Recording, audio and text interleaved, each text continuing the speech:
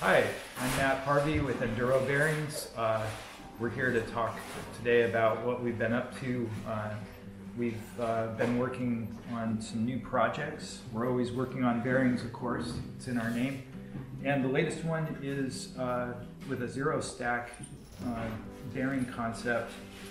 Typical zero stack bearing is a combination of a aluminum cup with a bearing that drops in, which is the industry standard. and it works, but um, you have two pieces that go together. What we've been able to do, because we make bearings, is we've made this piece as one unit. So where usually you have two pieces together and pretty small balls in here. The balls are uh, 1 8 inch. With the Maxhit headset that's a single piece, we have five 32nd inch balls, which doubles the load capacity of this bearing. It's also all stainless steel. It goes in as one piece, so there's no chance of creaking or pieces um, rubbing against each other.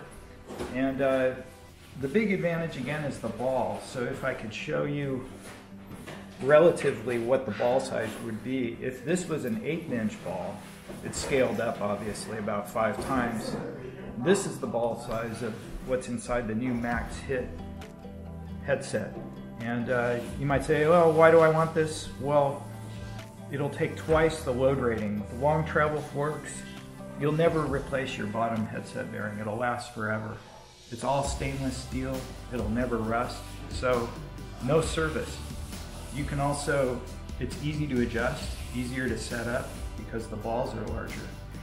So we've also uh, taken the concept and we're bringing it over to bottom brackets with um, same, same type of idea where usually you have a bearing pressed into an aluminum cup.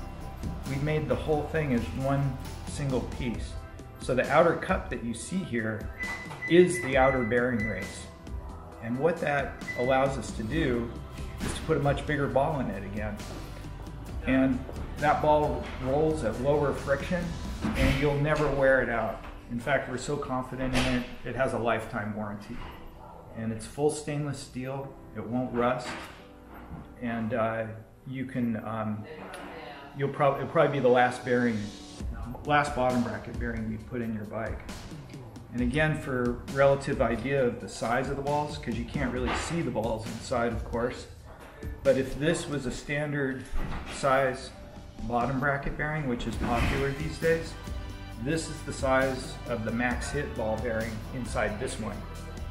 And uh, again, what does that do? It rolls easier, less friction, and no maintenance.